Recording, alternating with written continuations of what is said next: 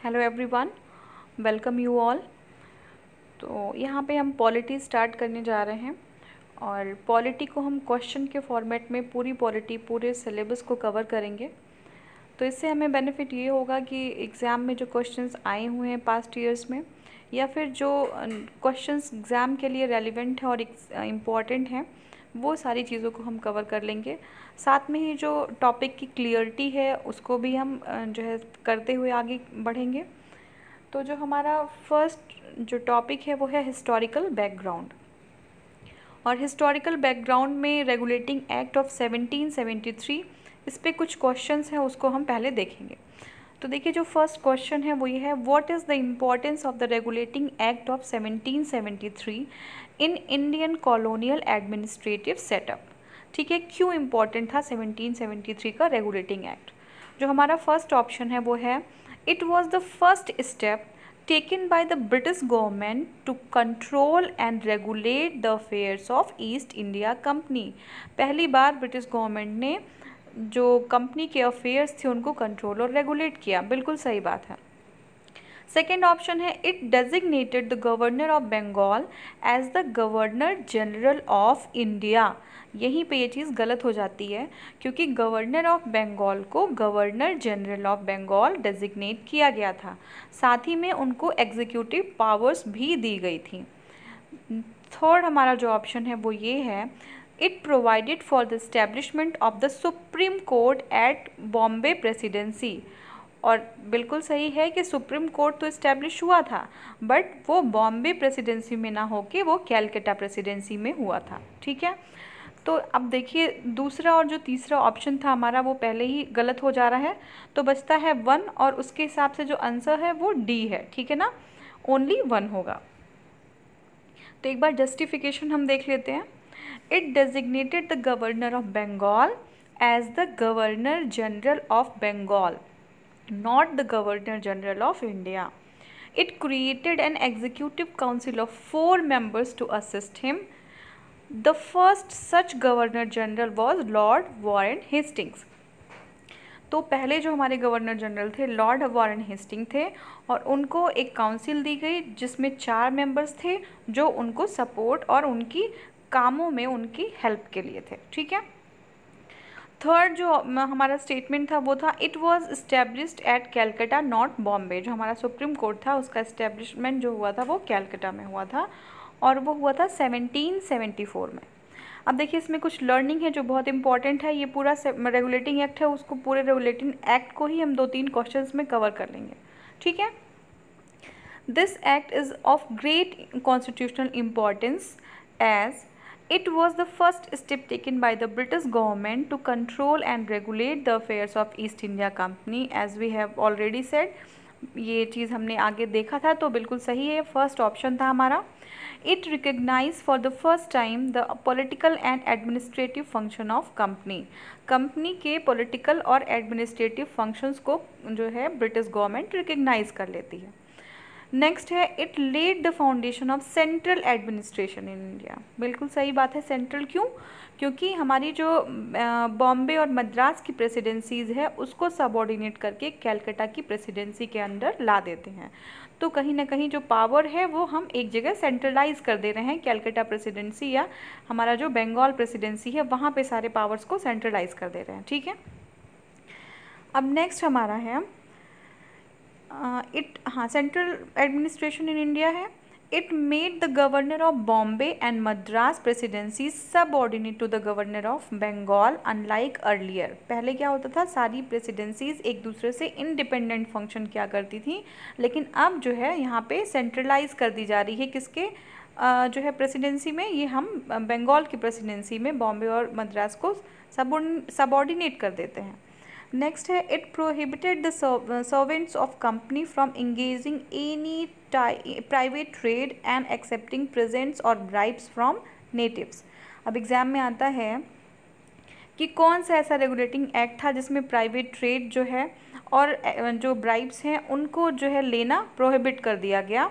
तो ये हमारा जो है वो आपका 1773 का रेगुलेटिंग एक्ट है। It strengthened the control of the British government over company by requiring the court of directors governing body of company to report on its revenue, civil and military affairs in India. तो क्या करते हैं ये court of directors की एक नई governing body बना देते हैं और थोड़ा सा कंट्रोल बढ़ा देते हैं कंपनी के ऊपर कैसे ऐसे कि जो कोर्ट ऑफ़ डायरेक्टर्स होते हैं वो कंपनी के रेवेन्यू सिविल और मिलिट्री अफेयर्स जो होते हैं उनकी रिपोर्ट प्रेजेंट करेंगे पार्लियामेंट में जाके, ठीक है? तो ये हो गया। अब जो सेकेंड क्वेश्चन है वो है regulating act of 1773 is said to be the greatest constitutional importance in India which of the following can be the reasons for it reasons क्या हो सकते हैं? द फ़र्स्ट ऑप्शन है it created a federal architecture to govern Indian decentralising the administrative system ऐसा बिल्कुल नहीं था जो हमारी गवर्नमेंट थी, वो चीज़ों को सेंट्रलाइज कर रही थी, जैसा हमने पहले देखा। सेकेंड है it transferred control of India from commercial companies to the British government representatives in India बिल्कुल नहीं, वो कंट्रोल कर रही थी, लेकिन पूरे जो आपके कॉमर्शियल जो इंटरेस्ट थे, जो कंट्रोल था, वो ट्रांसफ़र नहीं किया था ब्रिटिश रिप्रेजेंटेटिव के हाथ में, ठीक है ना? ये वॉज़ कंट्रोल कर रही थी। तो ये दोनों ही ऑप्शन सही नहीं है तो इसलिए इसमें ऑप्शन होगा डी नन ठीक है? थर्ड जो है, वो हम देखते हैं under which of the following acts a new supreme court and the court of appeal the Sardar Nizamat Adalat sorry Sardar नहीं दैट इज़ सदर Nizamat Adalat was established at Calcutta तो कौन से एक्ट में जो हमारा सुप्रीम कोर्ट है और सदर निज़ामत अदालत है, वो इस्टेब्लिश किया गया था कलकत्ता में? तो वो था जो हमारा 1773 के रेगुलेटिंग एक्ट में ही किया गया था। तो हमने ये तो देख लिया था कि सुप्रीम कोर्ट का इस्टेब्लिशमेंट 1774 में हो गया था under the regulating act of 1773 लेकिन साथ में ही सदर निज़ामत अदालत को भी इस्टेब्लिश किया गया था कैलकटा में। तो एक बार हम इसका सोल्यूशन देखेंगे। In India from 1772 a new system of justice was established each district was to have two courts a criminal court, Fosdari, and a civil court, Diwani Adalat. तो देखिए क्या था कि सारे डिस्ट्रिक्ट में दो तरीके की कोर्ट्स को इस्टेब्लिश करने की बात की गई थी और इस्टेब्लिश किया गया था, जो फ़र्स्ट टाइप का कोर्ट था, वो था क्रिमिनल कोर्ट जिसको फौजदारी अदालत भी कहते हैं। जैसे मार और झगड़े की कोई भी इस तरीके की, जो अगर कोई केस बनता है तो वो हमारा फौजदारी अदालत के अंदर डील किया जाएगा, उसको वहाँ पे जजमेंट होगा, ठीक है? और सिविल कोर्ट में क्या होता था, जैसे मैरिज हो गया या डिवोर्स हो गया, इस तरह की सारी चीज़ें हमारी दीवानी अदालत या सिविल कोर्ट में आते हैं ठीक है, समाज से जो इस तरीके की जो जिसमें क्रिमिनल एक्ट नहीं इन्वॉल्व होता, वो सिविल कोर्ट में आता है। अब देखिए maulvis and pandits interpreted Indian laws for the European district collectors who presided over the courts तो ये जो कोर्ट्स थे दोनों, सदर और जो निज़ामत, जो कोर्ट्स थे फौजदारी और जो दीवानी अदालत थे, उनको जो प्रिसाइड करते थे वो कौन थे? वो यूरोपियन जो डिस्ट्रिक्ट कलेक्टर्स थे, ठीक है? अब उनको तो इंडियन जो कल्चर है, उनका जो आपका रिलीजन है, उनकी चीज़ें वो तो समझ आएँगी नहीं। तो उसको इंटरप्रेट करने के लिए पंडित्स और मौलवीज़ को इनवाइट किया गया था कि जो है इंटरप्रेट करें ताकि जो यूरोपियन डिस्ट्रिक्ट कलेक्टर हैं, उनको जजमेंट देने में आसानी हो। The criminal courts were still under the qazi and mufti जो क्रिमिनल कोर्ट्स हुआ करते थे, वो तब भी काजी और मुफ्ती के अंदर हुआ करते थे, लेकिन जो उसका सुपरविज़न था, वो कलेक्टर करते थे। ठीक है? A major uh, problem was the was that the Brahmin Pandits gave different interpretation of local laws based on different school of धर्मशास्त्र तो आप जानते हैं कि बहुत सारे धर्मशास्त्र के अलग अलग स्कूल्स हैं। उनके अकॉर्डिंग जो लोकल लॉज थे उनका अलग अलग इंटरप्रिटेशन किया गया पंडित्स के द्वारा। तो अब इसमें क्या है कि यूनिफॉर्मिटी नहीं रह गई। सभी लोग अलग अलग जो है तरीके से चीज़ों को इंटरप्रेट कर रहे थे। तो 1775 में यूनिफॉर्मिटी को लाने के लिए 11 पंडित्स को इनवाइट किया गया और उनको जो है चीज़ों को, जो हमारे धर्म में जो चीज़ें थी, उसको इंटरप्रेट करने के लिए, उसको कोडिफाई करने के लिए कहा गया। ठीक है? और साथ ही में 1778 में कोड ऑफ़ मुस्लिम लॉज भी बनाया गया कंपाइल किया गया, ताकि जो यूरोपियन जजेस हैं, उनके लिए ये ईजी हो सके, कैसे जजमेंट को जो है देना है। ठीक है? चीज़ें उनको क्लियर हो सकें।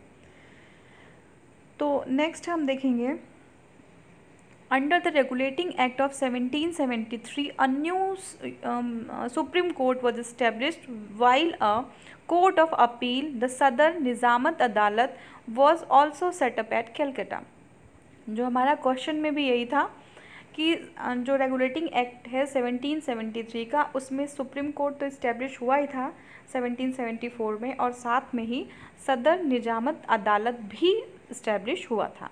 ठीक है? तो आज हम यहीं पे ड्रॉप करते हैं और नेक्स्ट जो हमारा होगा, वो आपका अमेंडिंग एक्ट 1781 होगा। वहाँ से हम स्टार्ट करेंगे। तो अगर आपको ये चीज़ें क्लियर हुई हों, आपको अच्छा लगा हो वीडियो तो प्लीज़ इसको सब्सक्राइब करिए चैनल को।